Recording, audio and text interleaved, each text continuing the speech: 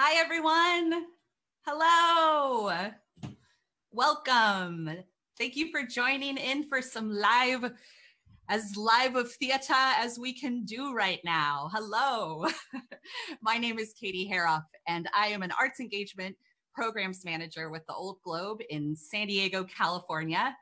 For the past month, every Tuesday and Thursday, I've hosted the Community Voices playwriting workshops with whoever wanted to participate on the Arts Engagement Facebook page, uh, along with my amazing teaching artists, Gill Sotu and Mickey Vale. Today's video is one of the performance presentations of six of the 10 minute plays that came from that workshop that were in the most finished shape for a reading. And we've been getting so many participants uh, in various stages of their play development sending their works to us that we've decided that we're going to host a couple more performance presentations in celebration of all the great work coming through this opportunity since we began. Uh, we will have one more reading next Thursday, the 14th, at the same time. Um, and then we'll have another reading in a month with participants that came into the process a little later. Uh, for those of you tuning in to the Community Voices program for the first time, this is a great place to join in. This is a reading presentation of the original works that came from our nine session workshop. This may inspire you to start the Community Voices process with us, and you're more than welcome. Uh, our videos are all on this on this Facebook page that you're probably watching on. Um, they're also on our YouTube channel under a uh, its entire segment called Community Voices.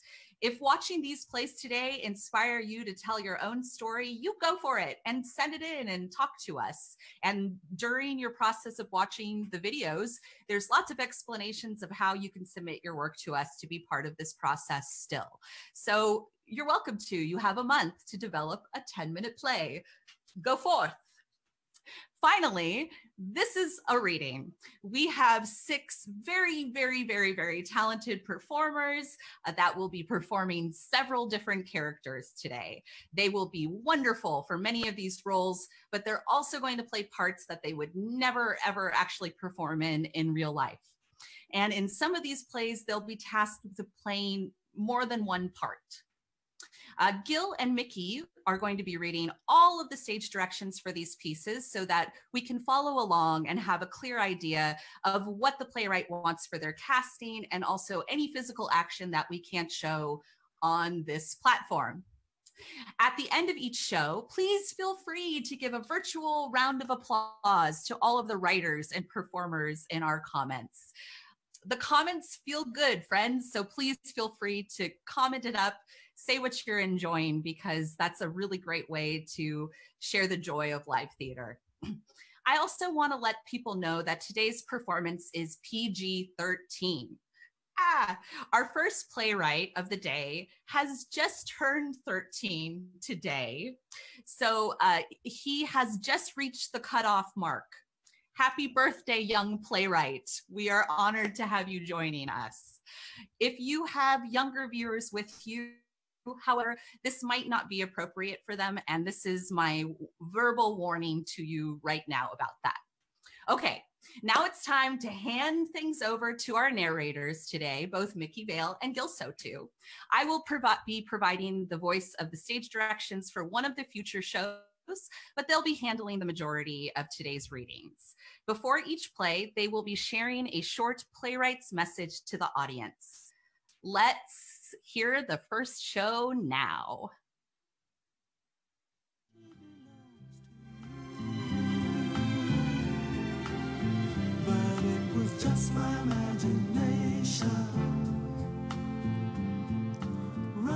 About deadly fear, Declan Kahlberg would like to say, this story is largely autobiographical. At the time of this writing, I'm 12 years old, going on 13.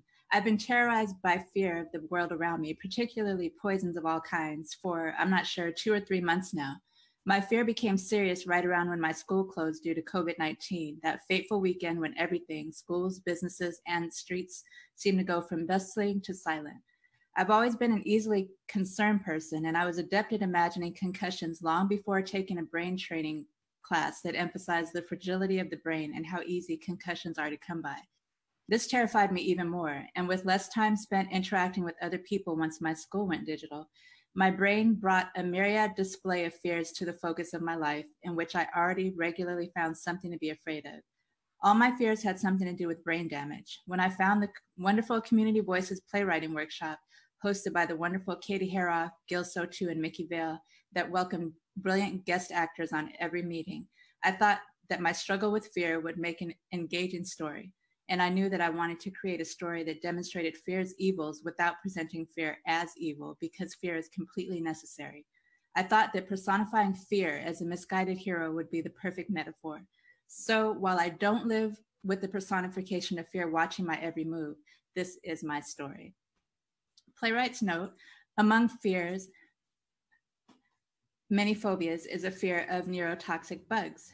Because of this, they often see a real or imagined bug and obsessively hunt it. Usually, this involves whacking their sword against the nearest surface and then inspecting their sword for any squash bugs. To avoid repetitive and tedious stage direction, this action is simply referred to as waxpecting in the stage directions. Dub the Fear by Declan Kahlberg. Characters Fear, the jumpy personification of the emotion fear, as a medieval style knight sworn to protect a 12 year old boy, Dylan. They find something to be scared of at every turn. Dylan, a bright and sweet boy with an overactive imagination who depends on fear to keep him safe. Dylan's mother, Dylan's loving, protective single mother, a music supervisor who takes pains for Dylan's health and safety, but feels that Dylan takes it for granted, and disapproves of Fear's incessant imaginary dragons. Worry, a consternated and a tad snarky secretary, Fear's counterpart for Dylan's mother. They always, they always carry around a few too many piles of paper, books, laptops, whatever needs to be taken care of. The setting is Dylan's family's apartment California, 7:30 a.m., early spring 2020, Thursday, amidst COVID-19 pandemic. At Rise, on a darkened stage, Fear, wearing full armor and visor down, stands guard by the side of Dylan's bed, his sword pointed directly outward from him and level. A sofa by the back of the stage is not visible in the darkness. Fear frequently jerks left or right as if responding to a sudden noise. Early daylight gradually filters in through the windows. Is it safe? Fear swivels around, raising their sword and preparing to whack it downward. Death to thee, foul harbingers! Oh, I shall clear a path for thee. Fear tiptoes across the stage, whacking their sword on the ground. Did you miss any? Perhaps I, I, I cannot ensure I did not miss a few. Oh no! Oh no, I could have been, it could have been the death to thee. Fear begins to drop to their knees in agony, jerking back up just before hitting the floor. They're terrified of it. Dylan tentatively makes his way over to Fear and studies himself against fear. That was easy. It is worth it if the protection of thy encephalon. Ah! Fear waxpex motions for Dylan to stay put and waxpex again. There be a bug in this place. It may harm thee. Tread with the utmost caution. Dylan runs off screaming, arms flailing. Help, help, it's a bug, it's a neurotoxic bug. Fear comes Death! barrel- barreling after Dylan. Death to thee, wretched midge! Worry enters, followed by Dylan's mother. The former carries a stack of piled paper, p- papers piled high in their arms and a laptop under their arm. The latter has clearly just woken up. Worry turns the lights on. You need to nip this, and Yeah, I know. he won't be able to live his life like this once this is over. I don't know how to make him let go of this. I don't want to hurt him. He's being hurt anyway. You've tried being nice, it doesn't work. Worry, Also, you've got a client breathing down your neck. The last cue doesn't have enough strings. Think sledgehammer, not Worry, I know the drill. this is important. Oh, and remember that you still need to file for. I know. she sits down and begins to work. Fear pulls Dylan back on stage. Dylan's mother looks up. Oh no! Did I harm thee? Did I give my charge a brain concussion? Dylan! Uh, Fear, you didn't touch me. Thou shouldn't remember if I did. Fear flips his visor up, grabs Dylan's face, and examines his pupils. Thine pupils are dilated. Thine pupils are dilated. Call upon a physician. This doesn't end well. Stop, stop. I'm I'm not doing this. I have to file for pandemic assistance and a client keeps Dylan's mother's phone buzzes. She picks it up. Hello? Yes, I'm having more strings put in right now. Fear lunges at Dylan's mother and grabs the phone from her. Keep that foul device away from thee. It is linked with the toxic network of 5G. There goes your client. Give that back right now. This ghastly appliance emits waves of doom, which shall enact a catastrophic concatenation of evils upon thee all. Even as we speak, the people of this earth create a network of epic proportions that will fill the very fabric of reality with death. The dreaded 5G. Oh, that reminds me. Fear and I put together a plan to protect us from 5G. It's very simple. We just have to paint the walls and roof with special anti-radiation paint and get some Faraday bags for our appliances. And then This is unacceptable. She Uh, puts the phone to her ear again. I'm I'm sorry. I just dropped the phone. Yes, yes. I'll send it as soon as I'm done. She hangs up the phone. As you can see, I'm trying to make money so that I can feed you. And in case you haven't noticed, you're not helping. I'm not doing this. My client wants his cue done, and I can't lose that relationship. Mortgage is due. That too. I'm only the messenger. I mean, you're blaming me, but look, Ah, yes. Thou shouldst blame me, for I am the protector of Dylan and insurer of his long and safe life. Blame is due to me. Dylan, this isn't the way that you live a life. This isn't living. This isn't keeping you safe. His entire life will be wasted before you know it. you know what really isn't helpful for living an unwasted life? Dying. Dylan, you can't do this. This isn't worth it. I'll make sure that you're safe. It's all I worry about. Dylan's mother takes Dylan by the shoulders. You are safe here. I can confirm that. Good God, I spend hours. But death or damage to one's brain can sneak up on one unsuspecting. I am not a tyrant. I am a servant and a protector. I take pains to keep thy son safe. Fear, you're crazy. Ah, if thou love Dylan, thou wouldst let me protect him. I love Dylan and I want him to have a full and happy life. You're not making all of our lives worse. You're making us miserable. You're trying to protect my soul, but my soul will not function without a brain. I would have my limbs chopped off to keep my brain functioning perfectly. Being happy is not worth any brain damage. He needs a psychiatrist. Where are we going to get money for that? These are imaginary threats. Well, we have real things to worry about. Agreed. Fear rambles on about concussions, secondhand smoke, neurotoxic bugs. Which are real. They have them in Australia. Do we live in Australia? There could be invasive species. Exactly, an invasive species.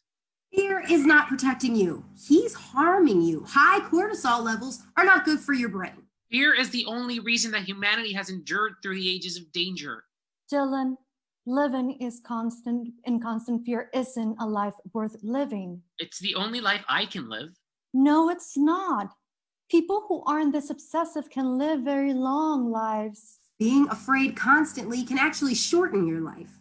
Fear instinctively raises their sword. Ah! Your son must be protected. You neglect his safety. A danger to Dylan. Ah! Fear wax. A danger to Dylan. Ah! Fear wax again. A danger to Dylan cannot afford to harm unseen since it has been ignored. Hey, a couplet. You might expose him to neurotoxin. You might expose him to nicotine. And for the record, you smoke.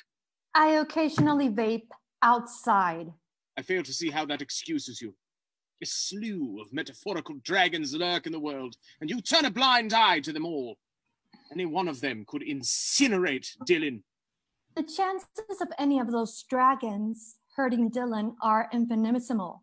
Making his life worse to protect against them isn't worth it. He could be hurt. but he has a life which you claim to be protecting. Fear? Fear starts to tremble. I, Fear, worry in moderation keeps you safe. Trust me, I know what I'm talking about. But fear in excess is deadly. High stress levels aren't good for his blood pressure. This much fear could be damaging for his prefrontal cortex. no, not his prefrontal cortex. Take me! Leave my charge alone! I will wait! I will. I. I. I hurt Dylan. No, no, no, no, please, no. I, I could have shortened Dylan's lifespan by decades. I could have given him terminal cancer. I could have damaged his brain. No, no, wait, wait, wait, no, no, no, wait, wait, wait, wait, wait, wait, wait. Do you see? She moves to hug Dylan. Fear swings her sword down between Dylan and Dylan's mother. No, wait! The heavy metal residue from her computer is is still on her hands. Stop! You think that I would let her buy a computer that sheds heavy metals? That's insulting. They could lie. They have lawyers. It's, it's not safe. They they could do whatever they please. They, they, they- they care only for riches. They care not about people. Hug, thou must not. This constant panic is completely unsustainable. I may be completely unsustainable, but sustain it I shall. That's an oxymoron. The point that is not. I, uh, I must protect Dylan, and any sacrifice on his part or mine is worth it. If you want to sacrifice something in the name of protecting Dylan, sacrifice yourself. Dylan is a wonderful boy. He's smart, he's sweet, and he has so much potential for a good life in front of him. You are keeping that from him.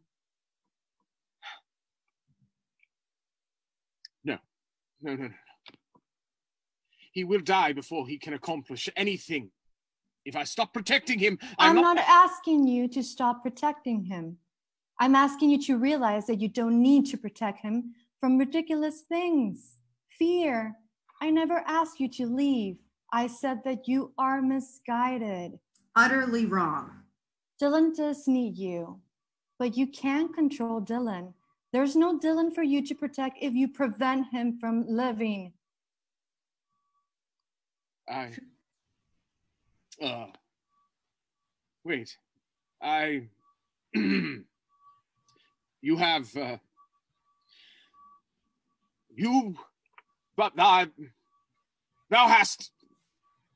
Thou hast a, a, a point. The room collectively exhales. Dylan, most of all. Dylan and Dylan's mother hug. Fear? Yes. Thank you. I. thou art welcome. Exhaling, Fear looks around the room casually. Suddenly, they spy something. An insect! It may harbor toxins of the lobe! Fear hefts his sword. Dylan shrieks and runs off stage. Ah! It's a process. End of play.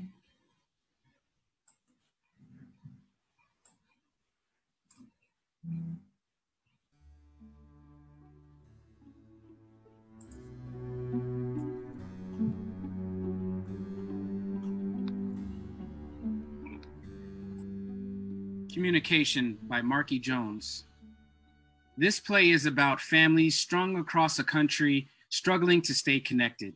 Sometimes we fail, sometimes we don't even try, and sometimes, in spite of everything, we stay connected. I hope you are connected to your family. I would have never written a play if it were not for the Old Globe 10 minute play workshop.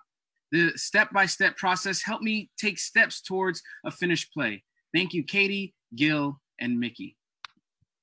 Communication by Marky Jones. Characters Nancy, female, in her middle 70s, the oldest of five siblings, all girls, lives with the fourth sister, Celia, outside of a remote town in Arizona, used to being in charge, opinionated, feisty. Marcia, in her late 60s, middle child of the family, often forgotten, smart, successful, recently retired. She thinks she's not con- confrontational, mousy.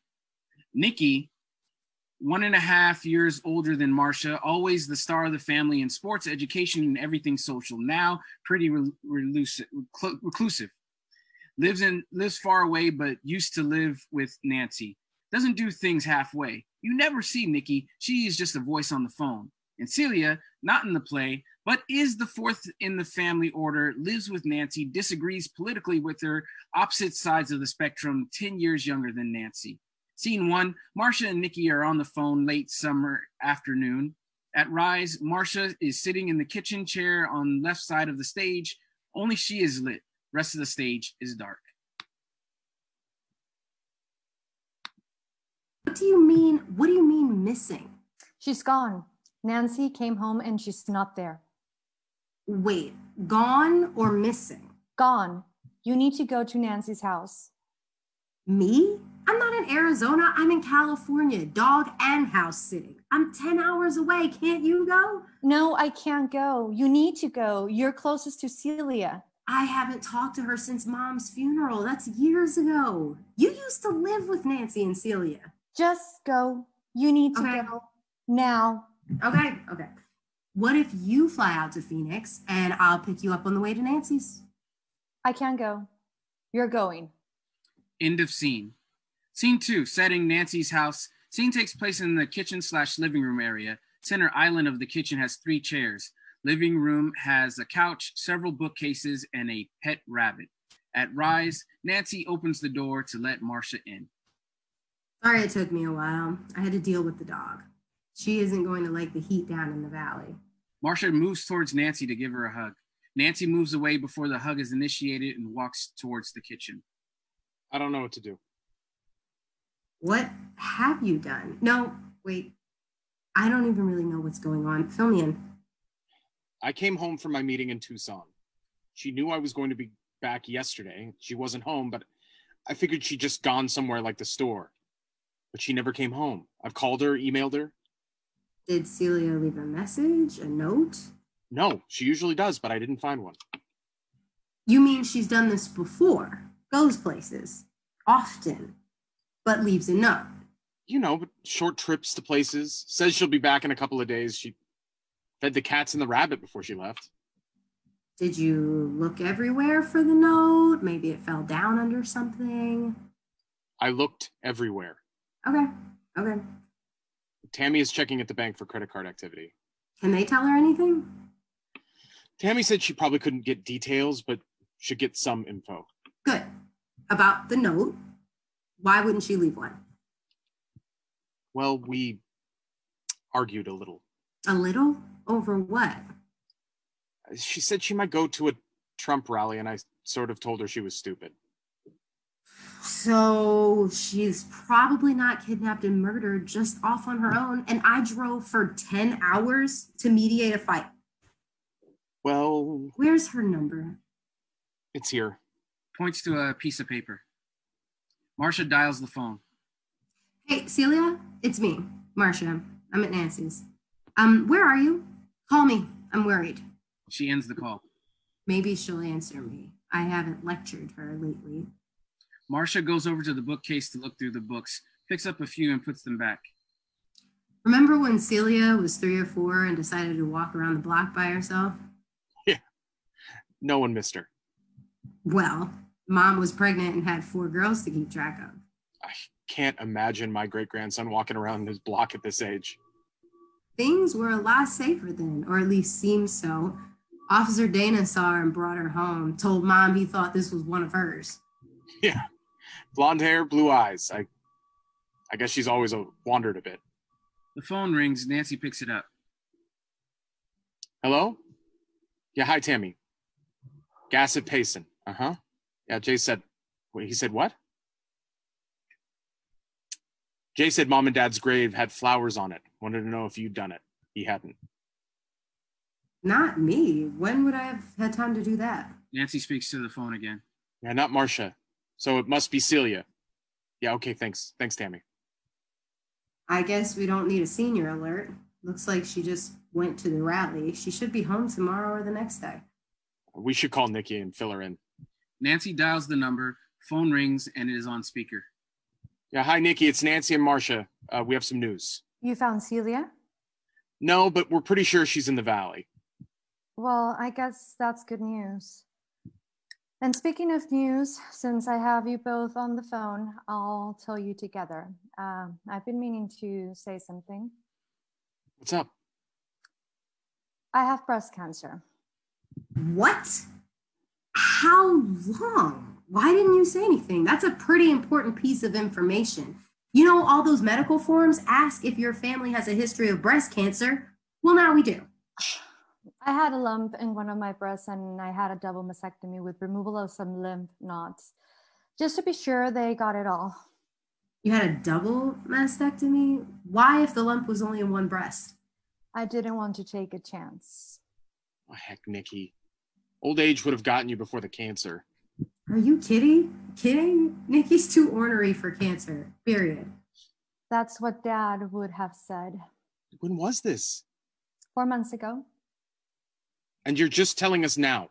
Well, yeah, but if this thing with Celia hadn't come up, I might not have said anything. Don't do that again. I can't. I'm out of breast. Yeah, very funny. Seriously, let us know things. Okay, okay, I got it. Let me know when you hear from Celia. Okay, we will. Bye. Bye. Nancy hangs up the phone. She is still an all or nothing girl. In more than one way now. Good one. She's always been the black sheep. If if someone had disappeared, I would have bet on her. For sure. Berkeley in the 60s, Oregon in the 70s, New Mexico in the 90s.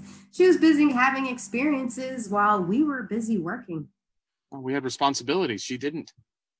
And when she lived with you, she went with that guy on an RV trip through the West.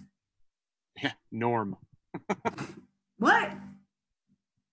Norm. No, Norm was his name. I, I didn't know that. End of scene. Scene three, setting, same as scene two. At Rise, Marcia sits at the kitchen counter in the same clothes as yesterday. It's early morning. Nancy walks in holding her phone, wearing her PJs. Celia sent an email. She'll be back later today. Did she say where she was? No, just that she'd be back. Well, I guess that's it then. I'll head for the valley, then California. She gathers her purse and backpack. You won't stay until she gets home? No, I'll let you two figure this out. Marcia heads for the door, turns and gives Nancy a hug, which Nancy accepts. Marcia steps out the door and addresses the audience. You'd think after all this, things would change. You'd think we would talk to each other more often. You'd be wrong. End of play.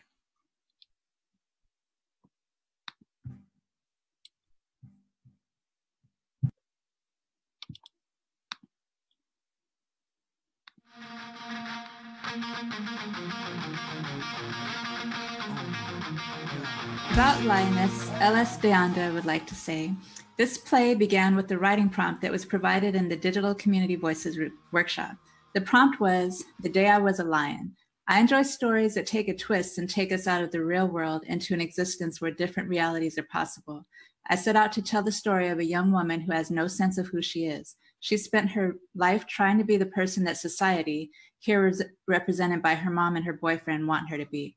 She loses herself in their idea of who she is. I've met many people, especially young women, who take on the beliefs and likes of their parent and then their potential partners without discovering and questioning who they are and what they believe or want, want for themselves. I wanted to see to what extent a person might change who they are to either please someone else or to finally become who they want to be. Lioness by L.S. Deanda. Characters Sam, female, early 20s, shy, apologetic, unsure of who she is. Robert, male, 30s, Sam's boyfriend, artist, confident, family oriented. Naomi, Sam's mother, in her 50s, overbearing, traditional, wants what she thinks is best for her daughter. The setting is summer 2019 inside City Zoo. At Rise, we see Sam pushing a wheelchair with Naomi in it. No, really, Mom, I'm good. You look tired, dear. Have you been sleeping too much? Long nights studying. You have dark circles under your eyes. You're too young to look that haggard.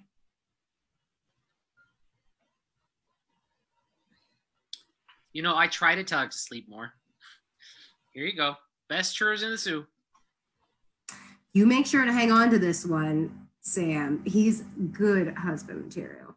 Mom, we've only been living together a month. Nonsense. Me and your dad married after only dating three weeks. I know. I still don't understand this living together nonsense. He already asked you to marry him. Mom, It's okay, Naomi. She wants to finish nursing school. oh, okay. Sam pulls out the zoo map from her pocket and Um, unfolds it. So, where do you want to head out next? I don't know. You're the one who knows this zoo. I'm on vacation. You pick. Okay, um, how about the tortoise? Tortoise? Just a suggestion. That's in the middle of the zoo. They don't really do much. Kind of boring. Okay, maybe the lions. I don't know. Uh, I'm open to ju- suggestions. She hands Robert the map. I think we start at the children's zoo and work our way up north. Sure, it would be better if we had kids with us. Mom, I'm just saying, there's nothing quite like seeing the world through the eyes of a child. I'm sorry. I just don't really like the children's zoo. Um, they have creepy, crawly critters. They're called children, Sam. I mean the bugs. Look, creepy, crawly critters exhibit perfect for your children. She doesn't like them. I love kids. I'm just not ready to have kids. I meant you didn't like the bugs. Oh, sorry. And stop apologizing so much, dear. I know I'm sorry. Sam, Sorry. Okay, if you don't like creepy crawly things, then where to? I'm not getting younger sitting here. Um, can I please have the map? Robert hands her the map. How about birds? Mom, I know you like birds. Birds? I mean, I like peacocks. Peacocks. Mm, I don't see peacocks. I think they just roam everywhere. I don't really know if that's true. I saw one earlier when y'all went to the car park, when y'all went to park the car. Really? Sorry, but I just can't picture even seeing peacocks here. Actually, there's one right behind you. What? Where? Oh, darn. That would have been a great picture. I like your pictures of animals better than those weird ones you used to take in school. Thanks. I'm just saying, I think you missed your calling. I'm in nursing school now and I still take pictures. I think you're a great artist. Did you show your mom the picture you took of the lion? She does have a great eye. That's right. You two met in art school. Robert, you're so brave following your dream. Life is short. If my accident taught me anything, it's that. So, birds of prey, this way to uh, the feathered flying friends exhibit. I don't like them. They are literal vultures who prey on things dying. And I don't want to be near anything that might mistake me for an injured or dying creature. Okay, okay. Sorry, no birds of prey then. Um, I don't know. Um, Hey, don't they have that panda exhibit here? yeah, that's right. It's right next to the, actually, oh, it's right next to the birds of prey. Oh, is that right? Yeah, that's right. It's right to the right of the birds of prey, right? What? right. Okay, I'm lost now. Well, that's not good because you're the one holding the map. Okay, do you want to go to the pandas? Sure, whatever you want, dear. Okay, so pandas. The pandas are also in the middle of the zoo. Okay, so we don't head out there first, but we can make this make that stop. Let's decide which way. I still say the way that makes sense is to go to the children's zoo and circle around the pandas, avoiding the birds of prey, and then check out the new exhibits. Or we can take the tram and get to the pandas that way. We can't take the wheelchair, and that's a lot of walking from the tram to the pandas. I can walk. Sam is just being overly cautious with this. She motions to her wheelchair. It's a big zoo, mom. Eh, I know you can walk, but I didn't want it to get you tired. I'm fine with whatever you want. Yeah, me too. Okay, great. So what did we decide then? Tram, no tram? I say children's zoo, then circle to pandas.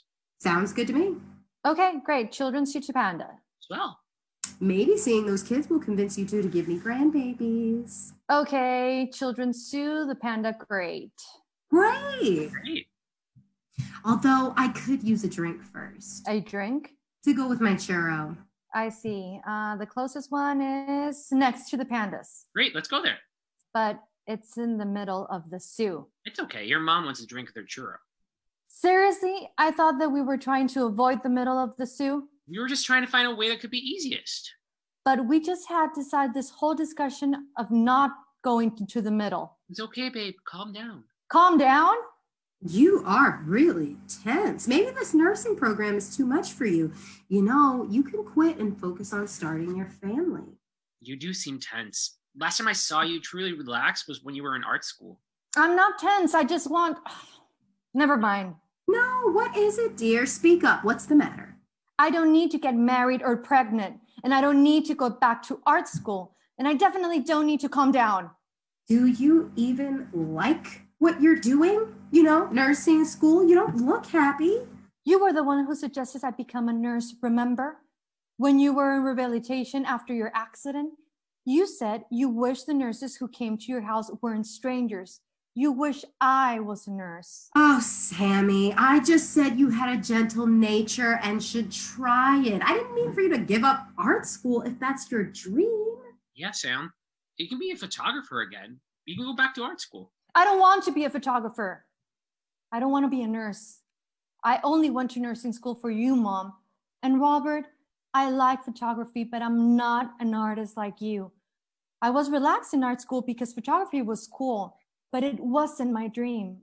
I just stuck with it because it met you I met you and it was fun to be together, but I don't know what I want. And I I want, but I'm sorry.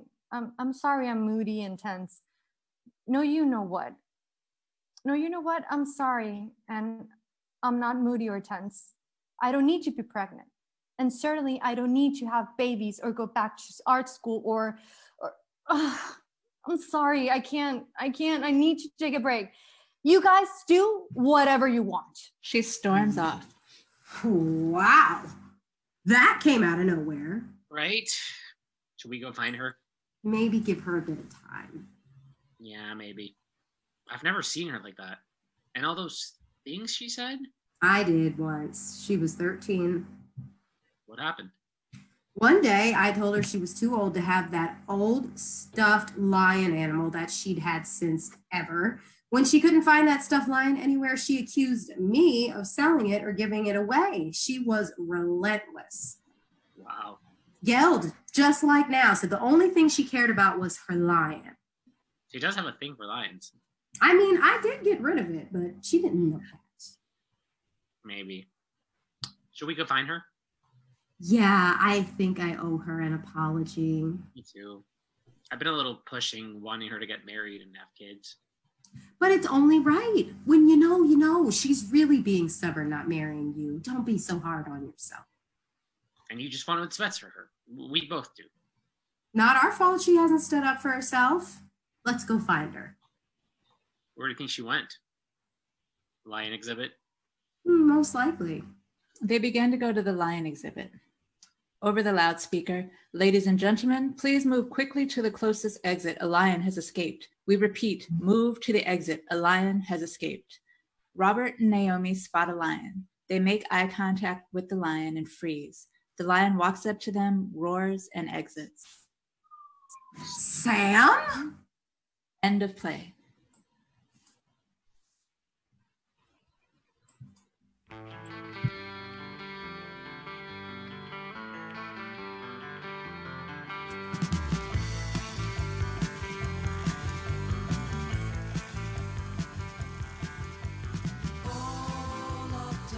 Liftoff by Tim Cole.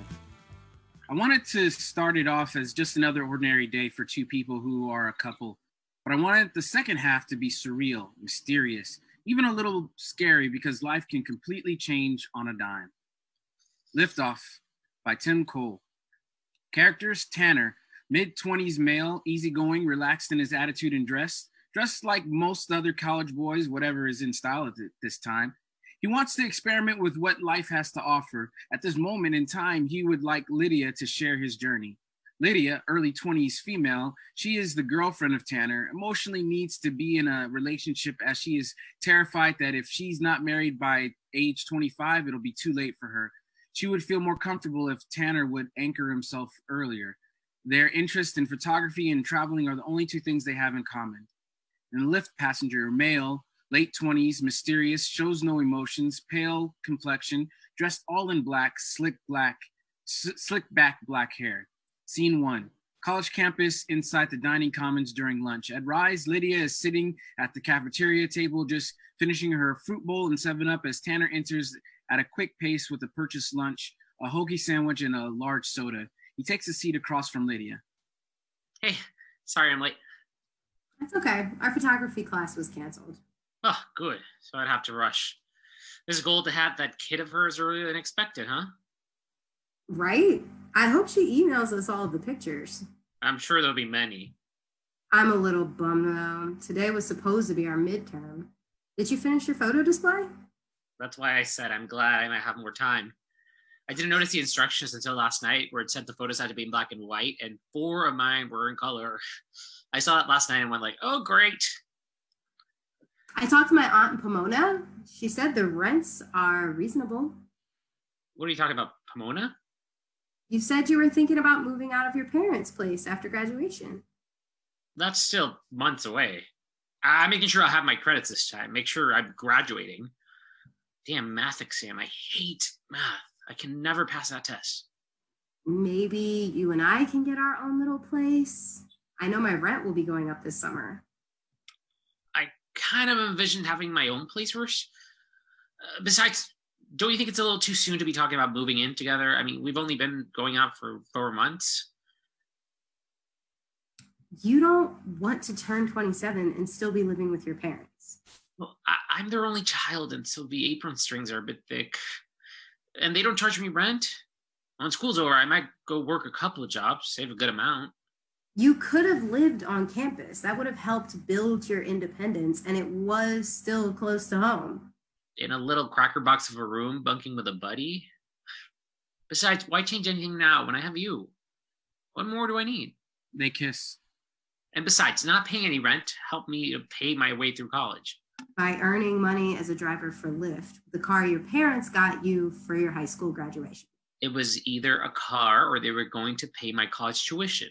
I chose the car so I could help pay for college. Besides, would you rather see me flipping burgers? True. At least I can ride along with you while you're working. Well, you're not supposed to. But I love it when you post like you're another passenger.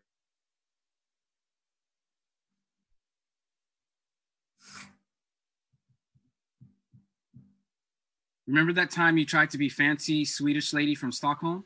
I don't know what I was thinking. Your accent was so bad. Remember the time I picked that one girl up and you pretended to be deaf? And she actually knew sign language. I know, right? you should have seen your face. Crimson, I'm sure. Well, just be patient with me. I want to try a few things. Hey, did I tell you I- I was looking up to see what I would have to do to become a pilot? Imagine that. If I got a job with an airline, I could take you anywhere you want to go. Like Paris. Let's try Sweden first. We'll work on improving that accent of yours. Smartass. I guess I'm a little more concerned about your future than you are. What do you mean? Where are you going to be in five? Where are you going to be five years from now? Last year, you wanted to be a bus driver, and the year before that, you want to be the captain of a cruise ship. What if next year you find out that you want to be a landscape architect or an actor? Everyone's in a rush these days. Look what happened to my uncle. His whole life was wanting to play in the Super Bowl, and he did. And then it was over. Now what? When that was over, he was totally lost and didn't know what to do next. Uh, I want to study my options so that when I'm ready, I can decide what I can do that makes me happy and not everyone else. So I'm taking the more scenic route, leading one thing lead to another. I'd like to take you along with me. I'm afraid I might lose you during the journey. I'm hoping that won't happen. But might just as easily find someone else too. Learn that things in life, even carefully made plans, can fall down like a house of cards. Oh, yeah. I have an appointment with the school nurse later. Are you not still feeling any better? A little better today, but maybe they can give me something to speed things along. Well, call and let me know. Lydia gets up from the table. Are you working tonight? Friday night, bars will be hopping. I'd like to go hiking tomorrow if it doesn't rain. Yeah, call me. End of scene. Scene two, inside a car. Two chairs side by side. Tanner is in the driver's seat. It is close to midnight. Tanner is driving around the downtown area of the city looking for his next fare. He is having a conversation with Lydia, who is near the chairs but is not seated. So, So what? Are you interested in going hiking tomorrow? No rain? Nope. It's supposed to rain Sunday. Foggy now. I'm sorry about earlier today. No problem. You're right. I'm trying to rush things. Blame it on all of my insecurities. That's okay. I went to the nurse today. And? Lydia suddenly disappears, and Tanner has a look of surprise on his face as he looks ahead. What? What happened? I think we just had a blackout. And now, of course, someone needs a ride. He pulls the car over and leans out towards the passenger window. Yeah, that's me. Come on in. What happened? He sits to Tanner's right. Huh? It looks like we just had a blackout. The whole city's dark. Oh, yeah. Where are you headed? To the beach. Which beach? Hales. The one with the old lighthouse? That's the one. Oh. Ooh, do you have a clandestine rendezvous? It's known for that. Sort of. You know, that closed down last year, the lighthouse. There's already a battle between having it torn down or saved as a landmark.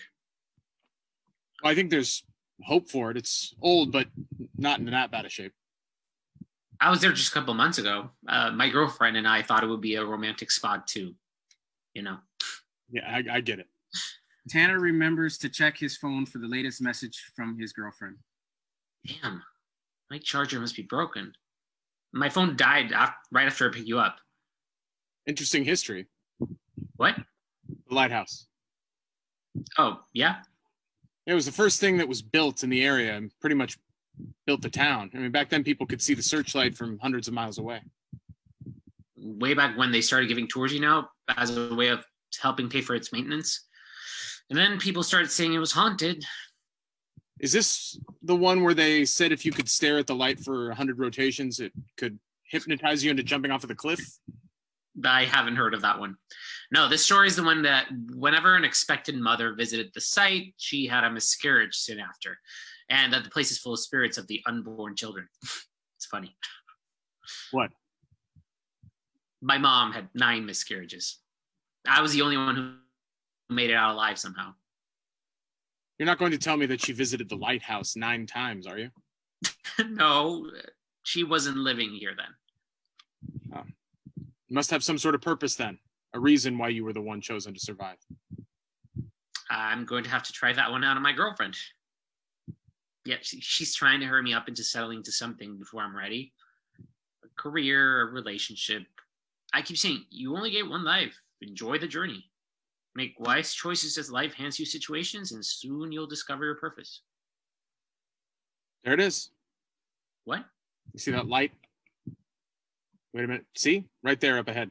That's not. That's not the lighthouse, is it? Keep going. Follow the light. Tanner has a puzzled look as he traverses a few turns before stopping the car. I didn't think this was functioning anymore. Weird, isn't it? I- I mean, this whole area looks like it's been restored since I was last here. These buildings here are new, and the lighthouse looks like it was built yesterday. Look at that cruise ship out there. Where? There. I can't see anything through all this fog. It's there. Trust me. How can you tell? Well, same way I can tell that it's having problems with its navigation equipment. See, it's because of the lighthouse that the ship isn't going to run right into the jagged rocks down below. If it weren't for the lighthouse, hundreds of people would have perished. So, am I driving you back or leaving you here? Because I got to tell you, you're freaking me out a little bit. Come over here. Look at this plaque. They walk over to the steps leading up to one of the new buildings, the Hales Beach Lighthouse Museum. Tanner reads. The Hale Lighthouse, the first structure built on Hales Beach in 1929, and is known for having been key to the development of the town of Hale. It is 134 feet high, and for many years it was the tallest structure inside a 20 mile area, yada yada, 2,000 watts, dedicated to Tanner. Tanner Best? Me? Yes, you. Look at the date. July 4th, 2050. 2050? That's 25 years from now. Well, more like 20. Okay, wait, what's happening? Don't you get it? No. The sudden blackout, the fog, the old lighthouse suddenly new again. I'm, I'm giving you a look into the future. Who, who are you? Brace yourself. I'm your son. What? I need to sit down. It's okay. Calm down. This is a good thing. Why are you here? This was your purpose, but you died without knowing it. The reason you were born, the mystery you've spent your life trying to figure out. What's the last thing you can remember before you pick me up? I was texting my girlfriend, Lydia. And what were you texting? The last thing I remember reading, uh, the last words I saw, I'm pregnant. And that's when it happened. What happened? You weren't looking where you were going. You ran straight into a light pole in the fog. Blackout, killed instantly. You should know not to text and drive. But I'm not dead. I'm, I'm right here. 20 years in the future here, remember? I still don't understand. See, when mom explained to me that this is the spot where I was conceived and they were going to tear the lighthouse down, I felt compelled to try and save it. For five years, I worked hard to ensure its preservations, the place where my life began. But why are we here at this moment in time? You remember that ship I just told you was saved from imminent danger because the lighthouse was allowed to continue to exist? Yes? Hundreds of lives were saved. Life is strange, isn't it? Had some of your mom's first baby survived, you might not have been born. As a result, I would not have been born. And had I not been born, the lighthouse would not exist. And right now, those hundreds of people would be drowning in the sea. And who knows? One of those people might end up having a child who finds a cure for a mysterious disease or figures out how to end all wars. End of play.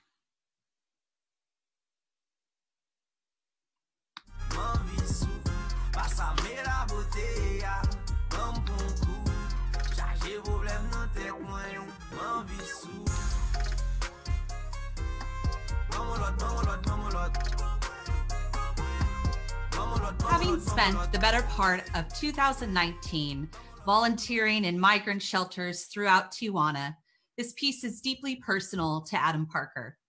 He hasn't been compelled to write in a long time, but this has provided a platform through which to interpret part of his experiences with the ongoing migrant crisis at our southern border.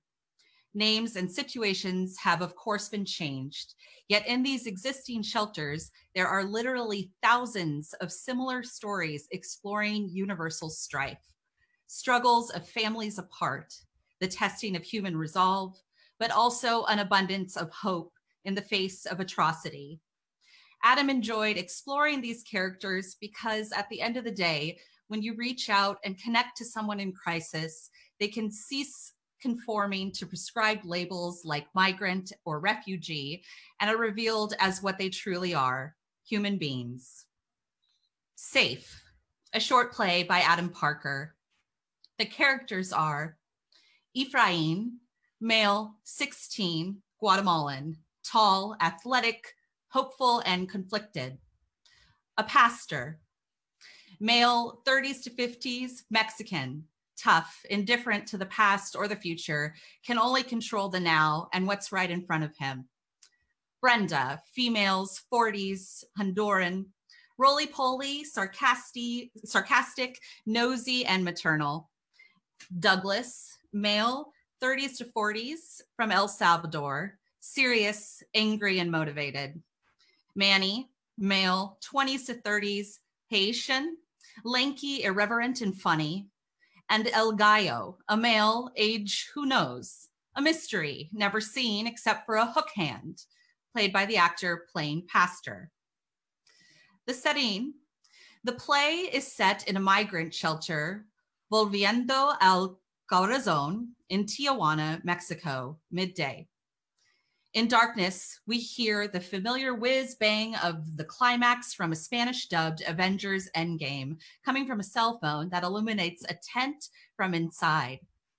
After a few seconds of this, the sound of a triangle dinner bell chimes off stage, lights up to reveal four brightly colored tents in a well worn room that is part church, church sanctuary, part refugee shelter. Two large maroon double doors lead to the outside. Upstage left is the screen door that leads to the pastor's house where El Gallo sleeps. These first few minutes should feel somewhat chaotic, but smack of routine. The pastor enters with a megaphone in one hand and a clipboard under another arm. Bendiciones a ustedes. Recuerden, niños eat first, kids line up by height only. I don't care if you're 15 or 50. If you're too tall for this ride, back of the line. Doctores Sin Fronteras will be here tomorrow. And if you have any infection, sores, pink eye, Pastor props open the double doors, continues speaking as he exits. Right as, as he departs, Brenda enters from her house, which is a laborious affair filled with cursing in Spanish. She shuts off her movie. Manny enters, devouring his plate as he walks. A cell phone in his pocket plays French hip hop. Hola, Brenda.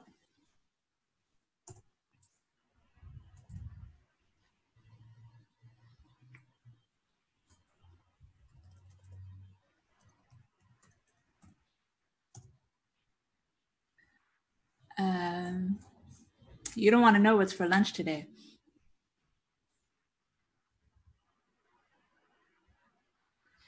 We're going to hold just for one second so our actors can unmute. Let's take it back. Thank you.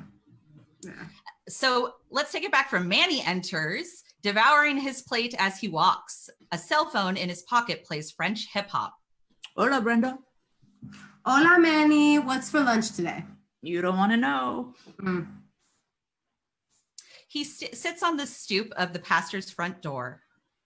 Ephraim enters with two plates. Under his downstage arm is a baseball mitt with a lacrosse ball instead of a baseball.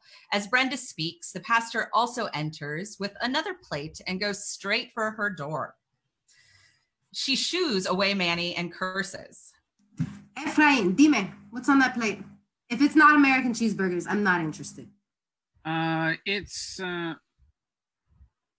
Gallo. Ay, gallo. Hay espagueti para ti, compañero.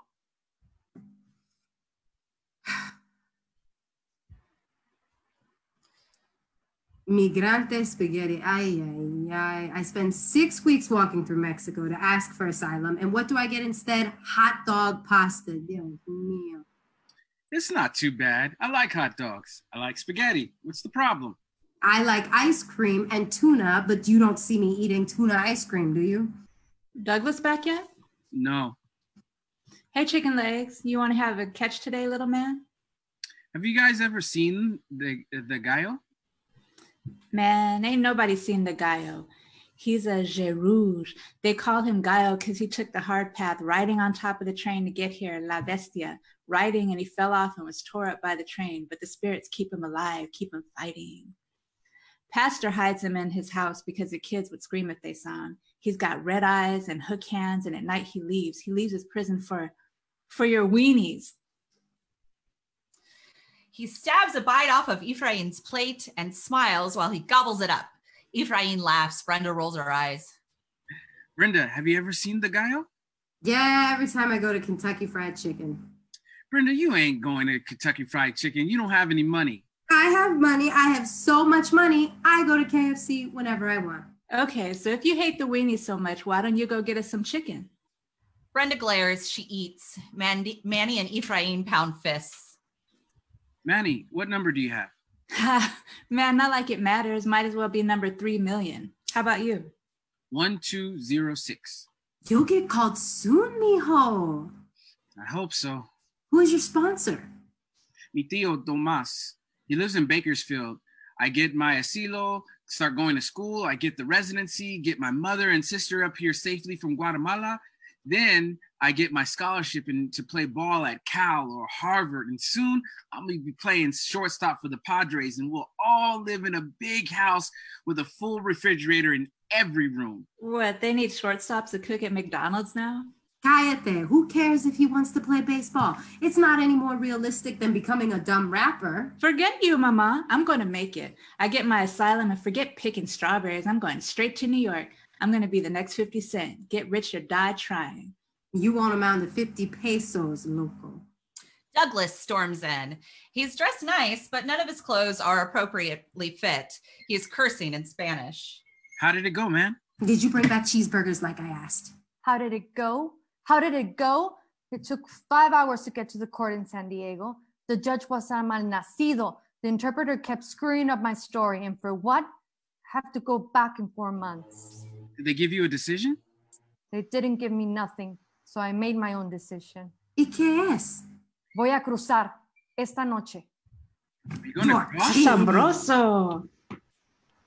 You're not crossing the border, Douglas. Like hell, I ain't.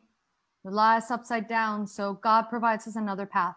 I talked to a coyote two days ago, just in case I got screwed. He crossed people by Tecate, and I'm going tonight. He rummages in his house. If you guys aren't crazy, you'll come with me. How much? Cálmate, How much- How much for the coyote, man? Cinco mil pesos. Douglas enters his house and starts haphazardly collecting his things. 200 bucks? Screw it. I'm going. Manny, shut up and sit down. You shut up. This is our chance, man. How long you been here, Brenda? Five months, says? And still not called? Wanna wait five more months? How about five more years? I got some money saved. I'm going. What do you think, little gangster? You wanna go? Ephraim, don't listen to them. This is crazy. I don't have the money. Hey, Brenda, since you're so rich you own KFC, loan the fool some cash. He can get you back when he's in the big leagues. I'm not doing no such thing. God is going to get this boy to the US and he's going to get a job and go to college. Douglas And- fights his way out of his house. He's changed into a hoodie and is st- and is still smashing toiletries and belongings into his backpack. You guys coming or what? Ya tu sabes. Douglas, you could starve in the desert. You could get caught. We're already caught. Look at this mess. See these hands? All these hands want to do is work, solo trabajar, bastante, bastante, bastante. We don't deserve to die in the street at home, and we can just die waiting here. They won't let me walk and um, so I'm walking around. We've got to go to the bus stop and at the calle El Alacran to get picked up in 10 minutes. Solo tú? Nah, little man coming. He gonna meet us at the bus stop. Douglas looks approvingly at Ephraim and then beelines for the door. Manny gives Brenda a quick kiss on the cheek, nods to Ephraim, and gingerly heads for the doors. Regulators, mount up. Manny exits singing regulators in French. A brief silence. If I, I wanted to go, would you loan me the money? Ephraim, I mean, do you really have the money? escúchame. What did you say about helping your family? Tu mamá y tu hermana? How can you help them if you're illegal?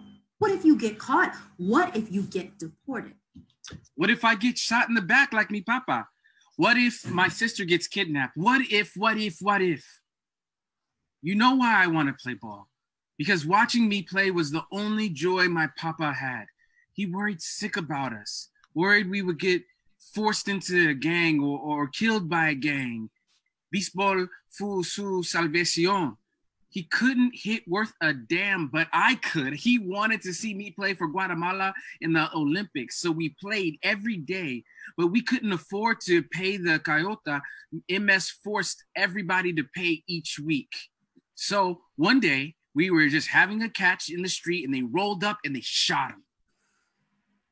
Nobody is safe nowhere. Better to die doing what you love or die trying to do what you love. Pastor enters. Oh, Pastor, escúchame. Douglas Imani? Manny, Gorda, you think I'm deaf or what? You're all carrying on out here like an episode of Jerry Springer. Efraín, ven para acá. Ephraim comes and sits with him on the steps. Dime, ¿qué pasó? Pastor, I, I- I pray God hears my case. Uh, pray God my case is heard soon. But I, I'm I don't want to keep waiting. I don't want to starve. I want to bring my family here. I want to play baseball. I, I want. It's okay. I I don't know what's right or wrong. Only God knows this. If you stay here, I can't promise you'll be safe. Can't promise when you'll be called, but I can promise you'll have a roof. You'll have food and you'll be loved. God wants you to eat American cheeseburgers, mijo. Pastor kisses him on the forehead, hugs him, exits to his house. Brenda goes to her house, rummages for a moment, then reemerges laboriously, cursing. She straightens up and extends Ephraim a pile of pesos. In this sad moment, Gaio speaks from within Pastor's house. His gravely voice sounds like an exaggerated Muppet. Efraín, mi changuito, ven aquí. Ephraim looks at Brenda. You've got to be kidding me. Brenda looks back at him. Oh my God, it's him. Get up here. Ephraim slowly approaches the screen door, which creaks open. A hook hand emerges. It is holding a baseball in the same way a ball player would. In silence and in disbelief, Ephraim slowly raises up his glove and the hook hand plops the ball into the mitt. La fuerza ni los zapatos entran. The hook gently pats Ephraim on the head. Ephraim, dumbfounded, starts to turn. Ay, Efrito. Ephraim whirls around. The hook turn, turns supine and gestures to the lacrosse ball in Ephraim's other hand. Ephraim, as dumbfounded as ever, places the ball onto the hook. Gracias. The hook recedes back into the house and the screen swings shut. What did he say? You can't force your shoes to fit. Dios mío, I almost had a pinche heart attack. Ephraim looks at the baseball like it's a talisman. Brenda, I, I think, I think I'll stay. Brenda shoots him a war- warm smile. She extends her arm to Ephraim, who runs over and hugs her. It is an emotional moment. Just when they're about to be overwhelmed with these emotions, Manny crashes through the front door. Oh, holy crap. Ay, Manny, que hiciste? What happened? It was all a setup. Wasn't no coyote. It was a freaking gang, man. They waiting at us at the bus stop for us. They jumped us, man. They took the money and started beating up on Douglas. Policia showed up just in time. Doug is okay, but he needs a doctor fast. Ah, Gracias, Idos. You're okay. Efrenito, let's go help Douglas. We probably need this money to bribe the pinche hospital now. Vámonos. Adios, Pastor. Manny and Brenda exit to the outside. Ephraim hesitates for a moment at the threshold. Gracias, Gaio. He exits. There's a brief moment of silence on stage. The screen door creaks open again, and Pastor enters with a bullhorn under his arm.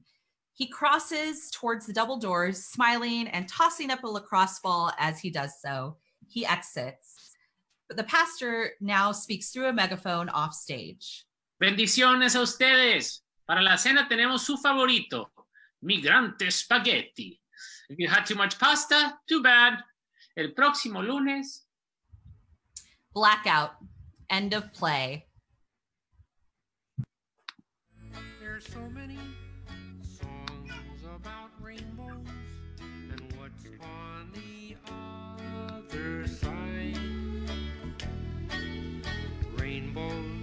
are visions, but only illusions. Days lurch, weeks fly by by Shelley Williams. My play is about a conversation a woman has with her recently departed cat while sheltering in place in her small studio apartment during the COVID 19 pandemic in 2020. She explores her feelings about this most recent loss and that of her two other cats that came before. Luna is not a caricature of a cat. She has a fully formed personality. She cares deeply about not Karen, no matter what she says, and wants to help her heal and move on to loving a new cat. I'm not exactly sure how she would be portrayed physically, but whatever it is should not be comical or distracting. We should see her and accept that not Karen is seeing a normal reddish brown tabby cat. Days lurch, weeks fly. Characters, not Karen, female at the very beginning of her 50s, single, without children, although she's always wanted them. Works, she works in the theater. And Luna, 10 year old female, formerly feral cat, deceased. Setting is San Diego, spring 2020, daytime. At Rise, a cluttered studio apartment. A queen sized bed takes up most of the room. There is other furniture around the perimeter of the room. Every surface has things stacked on it except the bed and half on the sofa. Not Karen sits on the t- sofa watching TV. Luna comes in, jumps on the bed, and lies down all curled up. What the hell? Who are you? Where did you come from? You know who I am. That lady found me on the street when I was a baby and brought me to you. You died last summer. I know. I was there.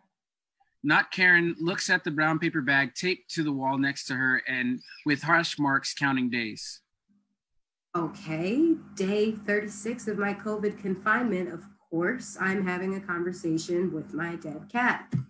Trying to sleep over here, Karen. How can you be tired? You're dead. You know that's not my name. Then don't act like one. If you can get your act together, I could be napping on a cloud enjoying the sunshine right now. Godiva's probably taking my spot by now, and Jojo, that dude. Wait, wait. The three of you are together? Obviously, Karen, why wouldn't we be? First of all, don't be a bitch. You're not a dog. Secondly, JoJo and Godiva overlapped lives. So I get they'd find each other, but you hate other cats. I have the scars to prove it. You shouldn't have gotten into the way. I was defending our home. Again, you're not a dog. You were never going to get that cat through the metal security screen door. Hey, why did you keep climbing up that screen door if you couldn't get back down by yourself? I couldn't or was never allowed. You would meow at me to come and fetch you and then hiss at me because your claw had gotten good and stuck. You weren't always gentle when getting me down, and it wasn't an invitation to cradle me like a freaking baby. Now who's being a Karen? So, Jojo and Godiva, how did you end up with them? Well, I crossed the bridge and was looking for a cloud and some solitude. Liar. Karen, who's telling the story? My name is not Karen. Continue. So I was looking for my fortress of solitude. Nice grab. Thanks. And this tuxedo dude was just there. I tried to get rid of him, but he wouldn't go. Everywhere I went, he was just there. Didn't say much, just curled and purred. Strong and silent type, just exuded comfort and love. Godiva? That girl knows how to work a room. I think she has a root. She has a lot of love to spread. Since she's all wide, she can blend in easier in the real world when she goes back. She doesn't even need to have a, men, a person in life. If she feels someone needs her, he just she just goes. You felt her before I lived with you. She didn't materialize then. You thought she thought it would break you for good. She's not wrong. Why am I here? Hmm, for some metaphysical pity party? You know, if you had just adopted a respectable five minutes after I pass, you wouldn't be sheltering all alone in your tiny trash heap apartment counting the days of a deep eddy vodka paperback. What? And subjects what what and some subject some other cat to this decade curse. What's What and subject some other cat to this decade curse? what's the decade curse? Cats only get 10 years with me. Well, Godiva got 11, but close enough. Jojo's sister, Kit Kat, lived 18 years with my sister, and his little brother, Bubba, made it to 17 with my brother. Karen, I hate to break it up to you, but you're not that important. Coincidence at best, but please explain to me how you cursed us. Okay. Jojo died of chronic kidney disease. Cats are notoriously bad at drinking water. Big cats get water from their kills. Jojo ate dry kibble his whole life. Wet food was a rare treat. Yes, Jackson Galaxy has taught you well. Were they cat behaviorists all over the television and the internet in the 90s? No. Was there even internet then? Shut up. I didn't even notice at first when he got sick. Godiva was like three, and my brother and Bubba were living with me. Three litter boxes around the apartment, with no way of knowing who was or wasn't using them. He didn't want to be bothered. You were in grad school. He and Godiva hardly ever saw you. Yeah, I was broke and couldn't afford to leave him at the hospital. So they told me how to give him subcutaneous fluid at home. They said I couldn't hurt him, but I did. I nicked a nerve and he couldn't lift his head or use his front legs. That was the vet tech's fault. She lied. Maybe so, but I should have been with him in the room when they gave him the shot instead of cowering in the waiting room. Yes, you should have, but he forgives you. Yep, that sounds like JoJo. So on to Godiva. Such a beauty, Snow White, with one blue eye and one green eye. She loved every single human she met. Once, when I was out of town, the cat sitter called and thought something was wrong with Godiva. She was petting her and she started smirgling her and drooling all over. I told her it was a normal cat behavior that reminds them of nursing, and Godiva just really loves her. The cat sitter needs to catch up on My Cat from Hell episodes. Jackson has much to teach her. This is how I know you were lying about looking for solitude over the Rainbow Bridge. You often smurgled me, like all the time. Calm down, Karen. We're talking about Godiva. It's kind of ironic that a cat with a heart that big would die of heart failure. Quit stalling. Tell me about the last day. I got home from work and she was breathing with her mouth open. I called and they told me to bring her to the hospital, so I put her in the carrier and took her. On the way, she was making horrible noises. She was in so much pain. There was a howl. Then she would flop more screams, another flop over and over again. She was clearly having a heart attack. I was hysterical. I don't know how I kept the car on the road right when I was trying to decide if I should pull over or just get there as quickly as possible. She let out the loudest, most anguished sound I've ever heard in my life, then flopped over harder than before, then silence. Deep, deep breath. I'm right here. By the time I got to the hospital, I was I was incoherent. They took her in the back, and once they realized she was dead, they led me into the exam room where she was lying on the table, wrapped in a towel. She had a little trail of blood coming from her mouth. I got a wet paper towel and cleaned her up and apologized for not holding her in my arms in her final moments. I'm sorry. I have never heard that story. She wouldn't talk about it. She says she would rather remember the thousands of other happy days that you and she spent loving each other. She's sorry her heart gave out on both of you. Oh, baby kitty, it's okay. Back to After Luna. good after Godiva passed, I want I wandered into a pet store. I don't remember why, but they had kittens up for adoption, and one kitten was sucking on its sibling's paw, and I had a panic attack. I couldn't even conceive the thought of having a new cat. Then a year and a half later, my coworker, actual Karen, was driving to work and pulled over when she saw a tiny tabby kitten stumbling in the road. Second I laid eyes on you, I felt my heart open up to someone new. Then when I gave you your first bottle, I knew you were mine. And I knew you knew. Shut up, you love me. Hey, why didn't you ever let on that you were sick? What would you have done if I had? Maybe they could have gotten the cancer out before it spread throughout your entire body. We could have had more than 10 years. What did I hate more than anything? It's a tie between going outside and people other than me. Outside is where I was abandoned, left to die, like nothing. Do you know how many people drove by before the ladies stopped? Karen, Yes, actual Karen. You were my world. You fed me, loved me, and learned about feral cats to give me a better life instead of throwing me away like everyone else. I wanted 10 years with you instead of 12 or 14, with you and every vet in San Diego. You loved me every second, even though I wasn't always easy to love like Jojo or Godiva. When you came home from work that day, I died under your couch. you remembered Godiva and I and you called in reinforcements and had them lift the couch so you could gather me up and cradle me in a piece you had bought home weeks before because I was soft and you thought I would like it. You took me to the same hospital you had taken Godiva because you wanted us to be together. That's why I met. That's why I'm with them right now.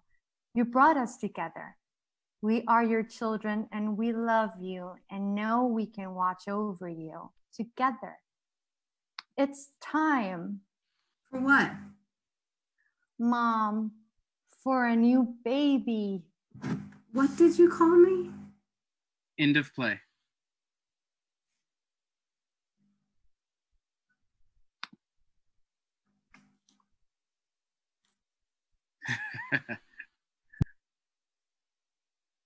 We had lots of technical difficulties during this first reading, including me not turning my volume back on, but we got through it um, and, and we learned a lot and we had a really great time sharing original works with all of you.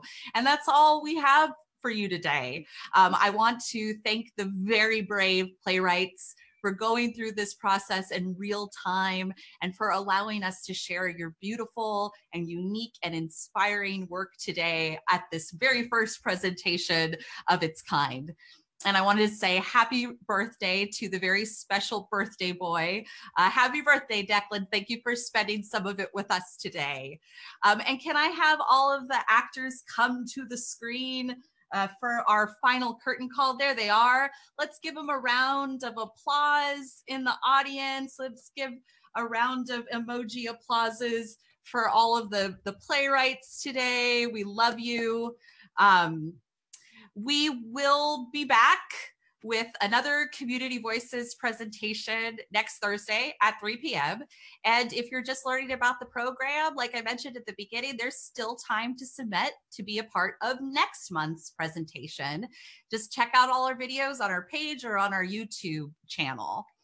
And if you are loving the programming happening on the Globe social media pages right now, I just want to give a shout out to our emergency fundraising campaign, Globe Rising. Check out the hashtag Globe Rising and all of the really cool efforts that the Old Globe is taking to remain connected to our audiences and making theater matter to more people. Also, tomorrow at 6 p.m., our newest workshop will be back for its first official workshop, Word Up. Um, and it will have a special, it will feature special guest artist Kendrick Dial with your lovely host, Laura Zablee. Um, and I will be premiering two new programs mid-May. So make sure to like the Arts Engagement page if you haven't already. Make sure that you subscribe to our updates and check out our event page for all of the upcoming fun. And we'll release that information very soon. I want to take this moment to say thank you all for being here during these trying times. I hope we're giving you an outlet that many of you might need right now. And personally, today, I just want to say I really hope that there is justice for Ahmaud. Thank you all for being here. Have a really great day, and we'll see you tomorrow at six o'clock with Word Up. Bye, everyone. Have